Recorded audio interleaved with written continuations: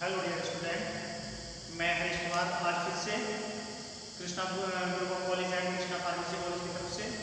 और आज हम पढ़ेंगे पैथोलॉजिकल पैरामीटर्स जिसमें हम ब्लड सेल्स के बारे में जानेंगे विस्तार से। ठीक है?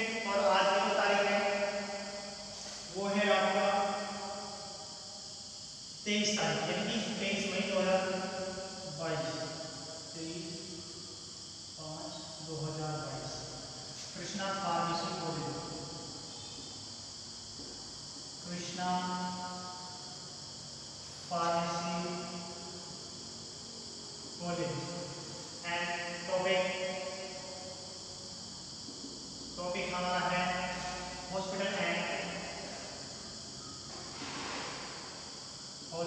एंड क्लिनिकल फार्मेसी और सब्जेक्ट है हमारा pathological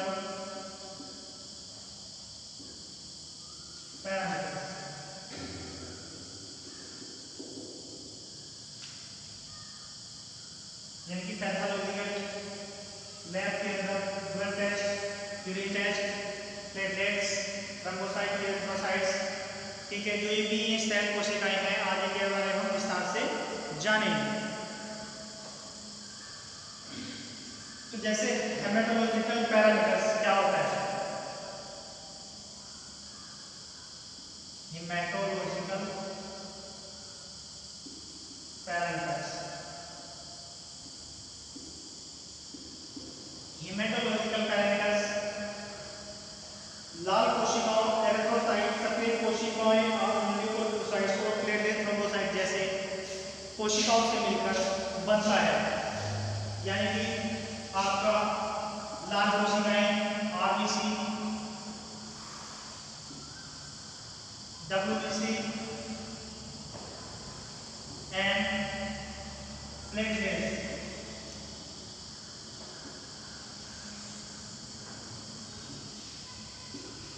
platelets RBC red blood cells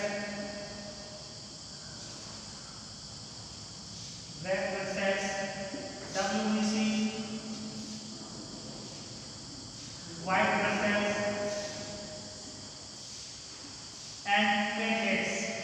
यानी ये भी एक प्रकार की श्वेत रक्त कोशिकाएँ होती हैं, जो प्लाज्मा में पाई जाती है।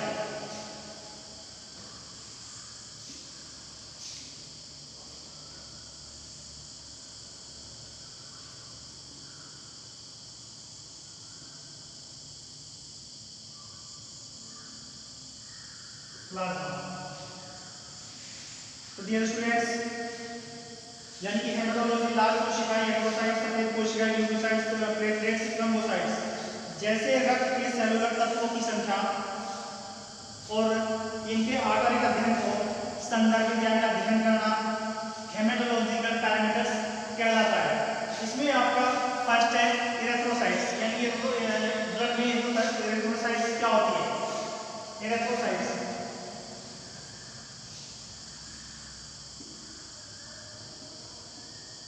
इलेक्ट्रोसाइट्स यानी कि आपकी आरबीसी आरबीसी यानी कि रेड ब्लड सेल्स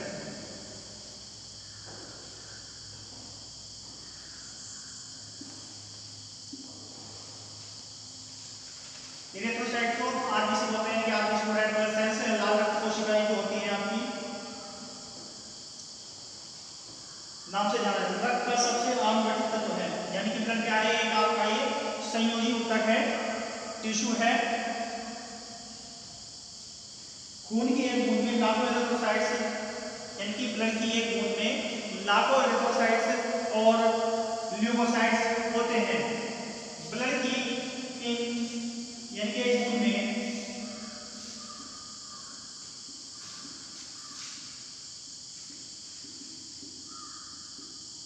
बूंद में लाखों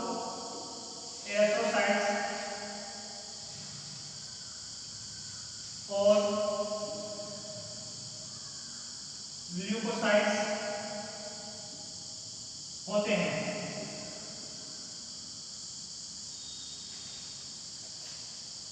यानी कि आप इसकी गिनती कैसे करते हैं? आर बीसी की गिनती?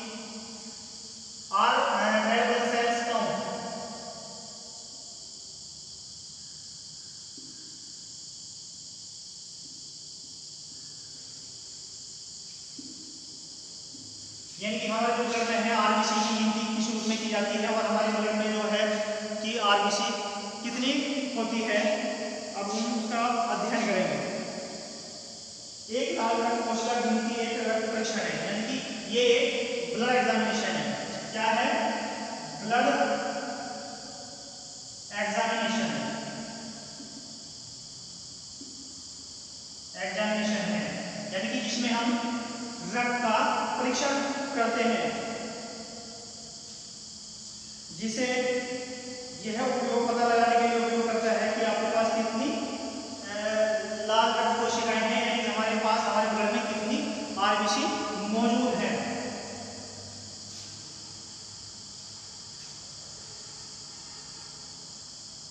इसे एरिथ्रोसाइट्स गिनती के रूप में भी जाना जाता है। यानी कि आरबीसी को इरेथ्रोसाइट्स इरेथ्रोसाइट्स गिनती के रूप में भी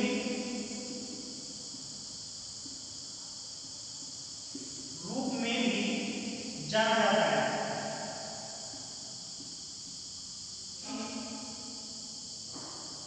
आरबीसी की गिनती lakh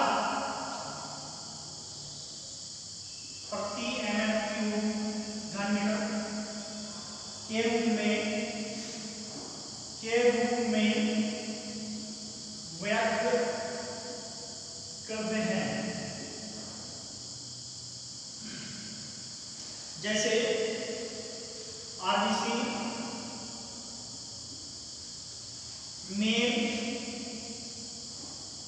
female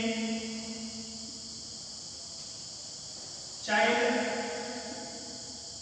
and adult different all male females child and adults यानी कि मेल्स में आपका 4 पॉइंट 4.6 से 6.0 लाख प्रति एम क्यूब यानी कि प्रति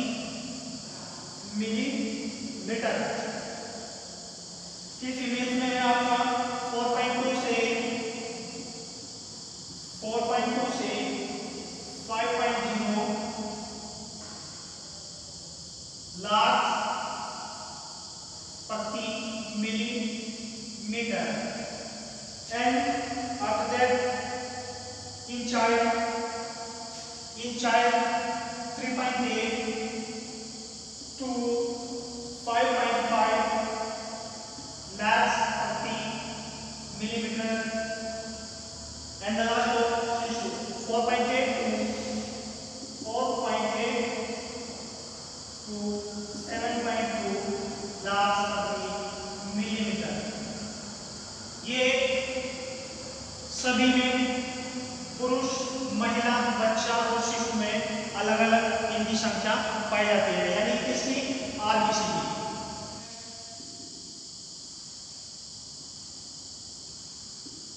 इंपोर्टेंस एग्जामिनेशन बहुत इंपॉर्टेंट है।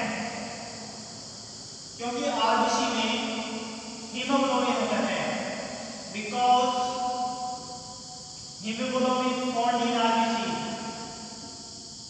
hemoglobin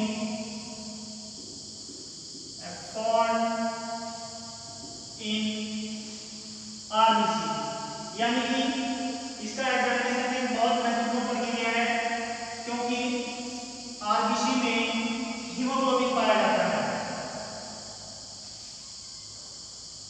जो यानी कि हमारे आपके शरीर के ऊतकों में ऑक्सीजन का परवाह करता है या ऑक्सीजन को पहुंचाता है हमारे शरीर में आपके पास आरबीसी की संख्या इस बात को प्रभावित कर सकती है कि आप आपके ऊतक कितने ऑक्सीजन प्राप्त करते हैं आपके ऊतकों का कार्य के लिए ऑक्सीजन की आवश्यकता पूरी बॉडी के, उनके कार्य करने के लिए ऑक्सीजन की आवश्यकता होती है। और हमारे शरीर में, हमारे तत्वों के पास कितनी ऑक्सीजन पहुँच रही है, उसी के अकॉर्डिंग वो काम कर रहे हैं या नहीं कर रहे हैं, कितना काम कर रहे हैं। लाल रक्त कोशिका द्रव्यमान में वृद्धि पॉलीफिसेमिया के रूप में जाना जाता है। यानी कि अगर किसी के ऊतकों में कम वृद्धि या ऑक्सीजन पाई जाती है। तो एक पॉलीफिसेमिया के नाम की बीमारी उत्पन्न हो सकती है। जिसे बाद में एनीमिया या शब्द या सामान्य शब्द जो लाल कोशिकाओं में कमी को संदर्भित करता है। यानी कि अगर खून कमी है तो उसे क्या कहेंगे? एनीमिया।